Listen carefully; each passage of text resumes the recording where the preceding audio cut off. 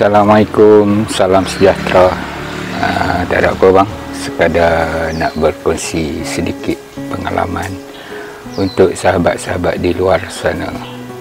Uh, berkongsi tentang penyakit yang kini banyak diceritakan, banyak diwar-warkan berkaitan dengan penyakit thalassemia. Uh, thalassemia ni adalah salah satu penyakit di mana dikategorikan sebagai penyakit genetik, penyakit keturunan. Uh, yang mana jika ibu atau bapa yang ada sebagai pengidap ataupun pembawa.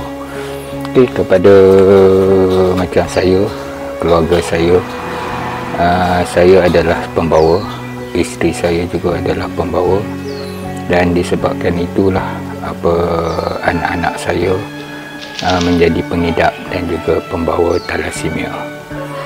Uh, kami sekeluarga dapat tahu uh, perkara ini pada tahun 2006 apabila anak kedua saya dia demam uh, beberapa hari dan selepas itu dibawa ke hospital. Dan apabila sampai di hospital uh, doktor membuat uh, ambil darah apa untuk ujian ingatkan denggi okay, bila dibuat ujian apa semua didapati uh, anak kedua saya itu adalah pengidap uh, uh, sejak daripada itu selepas itu doktor mengarahkanlah kami sekeluarga untuk mengambil ujian saringan thalassemia. Dan selepas beberapa minggu uh, keputusan diperolehi dan didapati itulah seperti awal saya kata tadi saya dan isteri adalah pembawa anak-anak saya yang sulung uh, pengidap yang kedua pengidap. Okey jadi dan sejak daripada itulah uh, kami anak-anak saya diarahkan untuk berjumpa dengan pakar setiap bulan untuk ujian darah. Ini untuk memastikan hemoglobin dia orang uh, sentiasa berada di tahap yang uh, sepatutnya. Okay, Alhamdulillah sejak itu setiap bulan lah kami uh, anak-anak saya terpaksa dibawa ke hospital untuk menjalani ujian uh, mengambil ujian darah untuk diuji untuk dilihat kadar hemoglobin yang ada di dalam badan mereka jadi selepas tu mulalah anak-anak saya rutin anak-anak saya ni terpaksa makan ubat folik acid ha, setiap hari untuk memastikan kadar hemoglobin di dalam badan mereka ha, sentiasa berada di tahap yang sepatutnya. Doktor juga telah bagi tahu pada kami uh, agar apa ada komplikasi yang mungkin akan berlaku apabila apa orang kata kita pengambilan apa folik acid ni dan pada tahun lepas uh, kami apa dua anak saya tu disahkan uh, mengalami limpa bengkak sebanyak 8 cm pada 2000 berapa saya tak ingat lah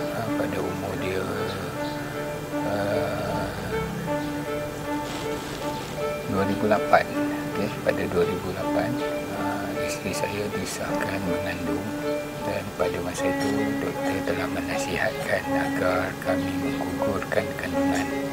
Uh, pada tahun itulah saya kata pada usia kandungan 4 bulan tu doktor minta digugurkan kandungan. Tapi saya dengan isteri buat keputusan untuk teruskan dan selepas itu doktor memang mengarahkan setiap beberapa minggu untuk ke klinik untuk pemeriksaan bagi memastikan kandungan itu berada di dalam tahap yang sepatutnya.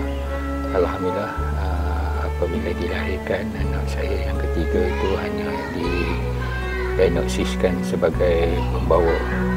Dan pada tahun 2011 pula uh, Angah didapati mengidap batu dalam pedu atau dia panggil apa ke gallstone uh, selepas pengesahan dilakukan uh, terpaksa dilakukan pembedahan.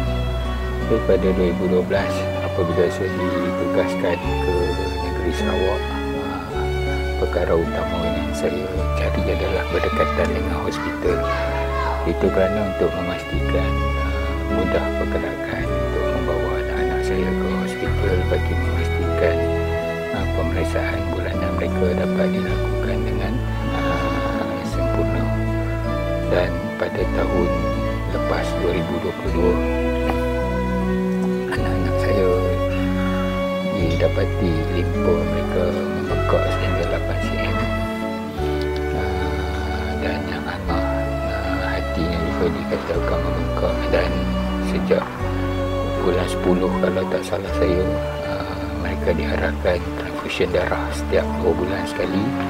Dan insyaAllah pada bulan 3 ni akan dibawa ke berjumpa pakar untuk melihat apa yang tindakan seterusnya.